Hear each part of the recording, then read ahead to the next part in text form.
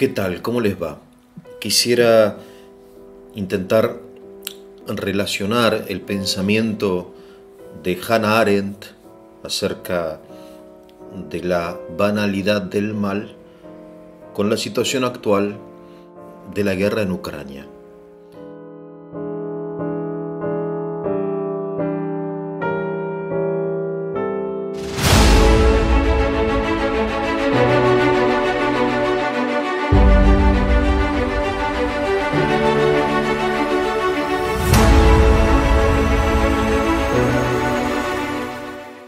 Y bien, Hannah Arendt fue enviada por un diario estadounidense a presenciar como corresponsal el juicio del nazi que había sido arrestado aquí en la Argentina, Eichmann, y que fue llevado a Jerusalén, hallado culpable de delitos contra la humanidad y finalmente condenado a la horca. ¿no?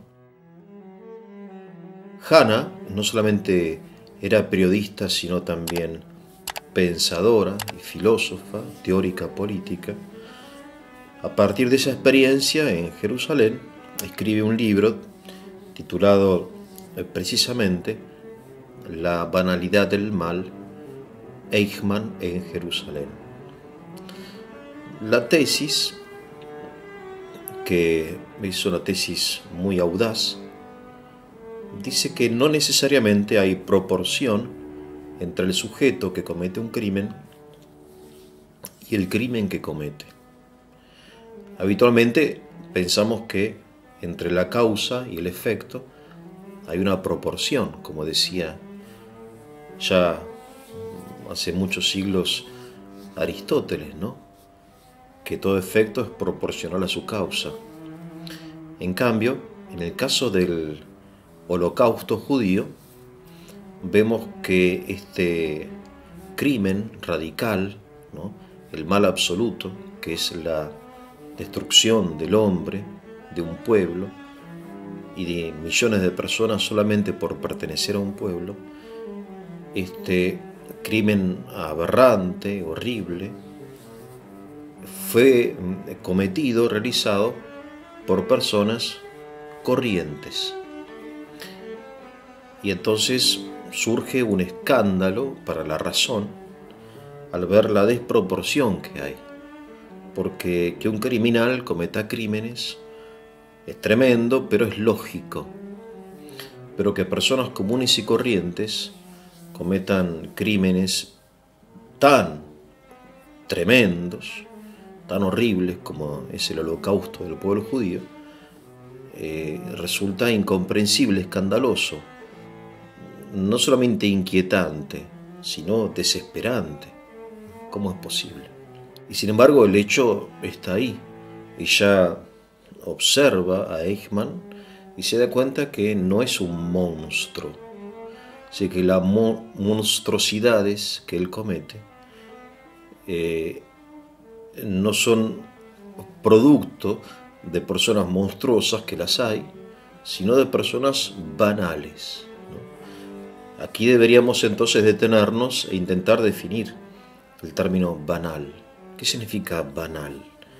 En el diccionario encontramos algunos sinónimos que son más bien negativos, insustancial, trivial, fútil, superficial, insignificante, irrelevante, intrascendente. Sin embargo, ninguno de estos sinónimos viene a señalar el significado de la palabra banal. Banal significa corriente. Viene del francés, que, en fin, que después viene del indoeuropeo, pero que en definitiva significa lo común y corriente. No tiene en principio la palabra banal un significado negativo, como eh, podrían ser estos estos términos sinónimos, ¿no? como insustancial, superficial, sino un significado neutral, es lo común y corriente. De modo que la sociedad está formada como por tres grandes grupos de personas. En su punto, digamos, superior, hay un pequeño grupo que tira para arriba, que son los héroes, que son los santos. Mm, eh, después hay un pequeño grupo que tira para abajo, también pequeño eh, en cuanto cantidad, que son los canallas, los criminales, los traidores. Y después hay una gran masa de personas que son las personas comunes y corrientes, que se definen porque no son ni santos ni héroes, no son tampoco ni canallas ni traidores, sino que son personas comunes y corrientes. Bueno, según Arendt, en determinadas circunstancias, estas personas comunes y corrientes este, pueden cometer crímenes aberrantes. Y esta es un poco la, tesis, simplificándola, ¿no? de Arendt. Y esto es lo escandaloso y por eso fue criticada, aunque pasó a la historia porque todos nosotros entendemos que eh, la destrucción del pueblo judío, no solamente del pueblo judío, pero principalmente del pueblo judío, no pudo haber sido realizada eh, sin la participación de miles, de decenas de miles de personas comunes y corrientes, pero que en determinadas circunstancias se involucraron, se comprometieron, participaron en actos criminales. Y cómo, la pregunta es cómo es posible. Entonces, esta posibilidad surge a partir del segundo, digamos, significado de la palabra, palabra banal, que es precisamente el significado negativo, de trivial, de superficial y reflexivo. ¿no? Eh, Hannah insiste en que el hombre común y corriente no es reflexivo, sino que obra de acuerdo a lo acostumbrado. Y es un hombre mm, sometido a las costumbres, un hombre obediente y reflexivo, que no realiza un diálogo interior, un hombre que no tiene un diálogo consigo mismo, con su propia alma. Esta ausencia de diálogo interior, de vida interior, lo hace fácilmente manipulable. De modo que en determinadas circunstancias históricas, el hombre común y corriente este, es fácilmente eh, dirigido, manipulado por una ideología que en el caso del nacionalsocialismo se convierte en un régimen. Entonces tenemos como tres aspectos, tres realidades. Las circunstancias históricas, en el caso de la Alemania nazi, de la entreguerra, eh, es la derrota en la Primera Guerra Mundial, la depresión económica del, 29, este, la superinflación, hiperinflación, etcétera, otras, la hambruna, la frustración, en fin, circunstancias exteriores, una ideología y eh, que es la, la nacionalsocialista, la racista, la antisemita, la de la primacía de la razaria, y después eh, un régimen que es este, un aparato que intenta llevar la ideología en la práctica, ¿no? al gobierno, a las leyes, a la vida de las personas. Circunstancias, ideología y régimen durante un tiempo determinado, muy, este, muy fortalecido por una permanente propaganda hace que el hombre corriente pueda cometer actos criminales. ¿no? O sea, no es algo del, de la noche a la mañana, como decimos aquí. No es algo espontáneo, inmediato, sino que es un proceso que hace que hay personas que no sean malas cometan grandes maldades. ¿no? Y en este sentido debemos también admitir que hay una proporción entre la causa y el efecto, porque en definitiva estas personas como Eichmann y, otros nazis que se ocuparon de las deportaciones de judíos y de la destrucción de los judíos en los campos de concentración, finalmente eran causas instrumentales. Por eso la proporción entre el mal cometido este, y, y la causa de ese mal existe, teniendo en cuenta que la causa de ese mal es la ideología en que en definitiva estas personas son instrumentos. ¿no? Así, eh, por ejemplo, el, Quijote de Cervantes es una obra genial proporcionada al genio de Cervantes, pero no podemos decir que ni, ni, la tinta, ni el papel, ni la pluma que usó Cervantes eran geniales, ¿no? porque en lo instrumental no se aplica la proporción entre el efecto y la causa. Entonces, en definitiva, estas personas que colaboraron con, con esta maldad, con estas atrocidades, no eran sino instrumentos de una ideología, que en definitiva también, para menos para los cristianos, puede ser considerada como un instrumento de una fuerza superior, ¿no? que odia al, género humano. Esta es un poco la idea de, de Hannah Arendt acerca de la banalidad del mal y haciendo como un análisis de esta expresión, quizá eh, podríamos hasta darle una, vuelta de rosca y diciendo, hablar no solamente de la banalidad del mal, sino de la maldad de la banalidad, en el sentido de que la banalidad es un estado de conciencia de, las personas donde la persona es irreflexiva eh, y ese estado de irreflexión, ese estado de banalidad hace que sea capaz de, todo, ¿no? de, acuerdo a donde sopla el viento, si quieren, ¿no? usando una imagen. Por eso la maldad de, la banalidad está expresada, está expresada muchísimas veces en la Sagrada Escritura, en los Evangelios, ¿no? se habla muchísimo, Jesús habla mucho de esto, de que hay, eh, hay personas que no, o mejor dicho, que las personas hasta que no hacen un acto reflexivo, que no piensan, ¿no? No tienen un diálogo íntimo consigo misma, permanecen en la oscuridad, ¿no? en términos evangélicos, y son también en términos evangélicos necios. ¿no? Eh, en, en, el lenguaje bíblico, esto de la banalidad puede ser traducido como necedad, ¿no? como ceguera de la cual habla mucho el Señor, la ceguera. La maldad de la ceguera, la maldad de la banalidad.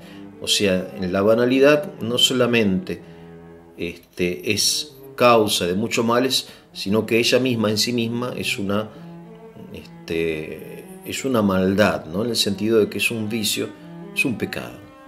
Bien, y en tercer lugar, hay que decir que en el caso de, de la situación actual en Ucrania, está claro, está más que claro esta banalidad, ¿no? Y, los, frutos de esta banalidad. Yo tengo muchos amigos en Rusia, muchos de ellos, o al menos algunos, simpatizan con Putin y con esta operación especial, etc. Y son personas, en definitiva, irreflexivas, que están fanatizados, dogmatizados. ¿no? Hannah Arendt distingue entre los nazis que ella describe como tres perfiles definidos. ¿no? Uno es el nihilista, es el que no cree en nada. Y en, el entorno de Putin hay, hay mucho de esto. Hay personas que no creen en nada, absolutamente en nada, pero que les conviene estar ahí porque están cerca del poder. No son los llamados oligarcas, pero entre los oligarcas hay, muchos que favorecen a Putin porque Putin los ha favorecido a ellos, les ha permitido quedarse con, grandes fortunas que le pertenecían al, pueblo. En este sentido, este, gente que no, que, que no, cree en nada y que está siempre ahí donde, donde está el poder, donde está el dinero, que quizá tiene a sus hijos estudiando en Londres o en, no sé, en Boston o en París, y sin embargo en público despotrican contra Occidente, contra Inglaterra, contra Estados Unidos, ¿no? que hablan maravillas de Rusia, pero que tienen sus fortunas en, España, sus bichas en, la costa azul o en la costa del sol, etc. Este nihilismo es muy, muy típico de la cúpula que rodea a Putin. Este, Hanna dice que en la época de Hitler había también muchos nihilistas, ¿no? porque venía de una época nihilista, de una época, en fin, de la Belle Époque, de, de la incredulidad total, y cuando ven que Hitler eh, este, toma el gobierno de Alemania, entonces siempre está, se rodea y lo rodean personas que buscan la utilidad. Después están los, eh, dices, a los dogmáticos. ¿no? Los dogmáticos son personas que son fanatizadas, que carecen de empatía, carecen de, sentido común, que no tienen diálogo, sino que repiten una y otra vez las mismas ideas. También hay muchos en Rusia de este tipo, ¿no? el famoso este Dugin que ha venido a la Argentina a dar charlas, invitado por algunos peronistas, que es un hombre que es un fanático.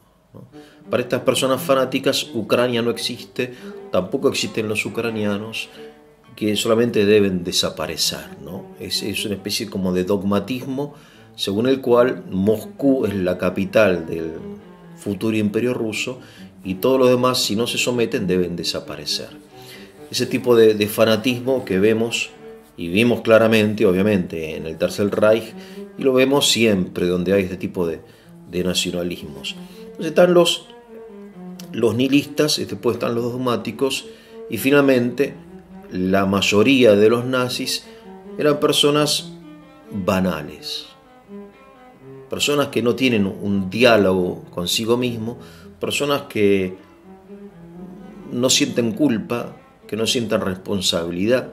Cuando el juez al final del juicio le pregunta a Eichmann si se siente culpable por haber deportado a miles de judíos a los campos de concentración, dice que no, que él se considera inocente, que él obedeció órdenes. O sea, se, se escondió y se esconde bajo el argumento de la obediencia. Dice, yo soy, en fin, devoto de Kant, también dice Eichmann, y Kant dice que, bueno, que el deber, hay que cumplir el deber, y mi deber era con Alemania y con mis superiores, y por eso cumplía órdenes.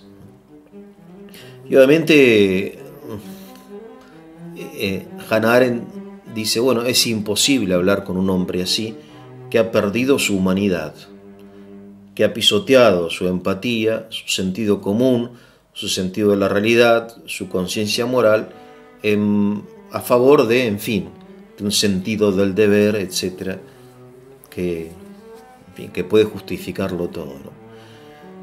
Bien, entonces me parece a mí que esto de la banalidad del mal es, es muy actual porque estamos, en fin, en las vísperas de una tercera, tercera guerra mundial, quizá una guerra atómica, y vemos que por otro lado no hay grandes criminales, no hay grandes canallas. Que el mismo Putin, Putin es un burócrata que llegó a ser presidente de Rusia un poco por casualidad, porque su intención nunca fue esa, no era político, sino que era de, de la KGB, que en fin, que fue invitado a formar parte de un gobierno, pero que, en fin, subió como un ascensor a un lugar que le queda no grande, sino enorme. Pero no se puede decir que es un hombre, digamos, ni siquiera parecido a Hitler, aunque muchos lo comparan, y en parte con razón, sin embargo parecería que, en fin. Y sin embargo él tiene en su escritorio, en forma gráfica lo digo porque no existe el botón rojo, tiene un botón rojo que si lo aprieta, en fin, gran parte de la humanidad desaparece. Entonces, y así hay muchísima gente, también dentro de, las iglesias, tanto ortodoxas también como católicas, hay mucha gente católica que, admira a Putin porque aparentemente, no sé, es, eh, favorable a las tradiciones cristianas, no sé qué. Pero en fin, entonces esto de la banalidad mal me parece que vale la pena recordarlo y insisto, esto es una idea mía vale la pena hablar no solamente de la banalidad del mal, sino de la maldad mm, de lo banal. Y en realidad, si uno lo piensa, estamos en un mundo absolutamente banal, un mundo irreflexivo, donde no hay auténtico diálogo, sino que hay noticias, hay propaganda, en fin, digamos que la banalidad ha ido creciendo, por eso este, en determinadas circunstancias, bajo determinadas ideologías y bajo la presión de determinado régimen, lo que pasó vuelve, eh, puede volver a pasar. Bien, en fin, que tengan un muy buen día.